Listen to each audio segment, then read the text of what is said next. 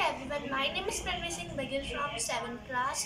Today I am going to uh, do one experiment. You all know that turmeric is a natural indicate, indicator and indicator only show the scenes when it mixed with the base, not with the acid.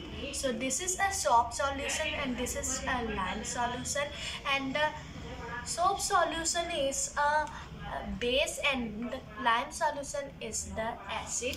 So I take s- few turmeric powder.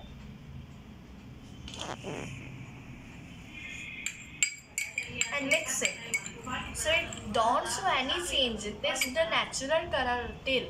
But if I mix a little in the soap solution so it red color because it is base and it's so it's so sage. And this is also lime if I mix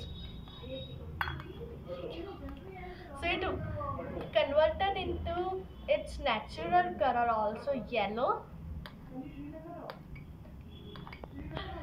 So it is something magically but it is science if you enjoyed this